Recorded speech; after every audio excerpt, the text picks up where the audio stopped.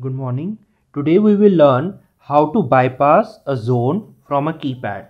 So as you can see, there is a zone PIR motion sensor which is active.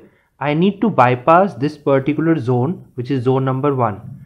So let us enter your master code which is 5678 and once you receive do you want to arm system then press the bypass button once then shows you to enter the zone number. So I want to enter zone number 001 that's the one which I want to bypass.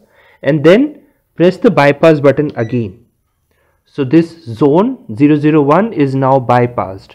Now you can exit out and you can arm the system. So let's arm the system. Now you can see my system is getting armed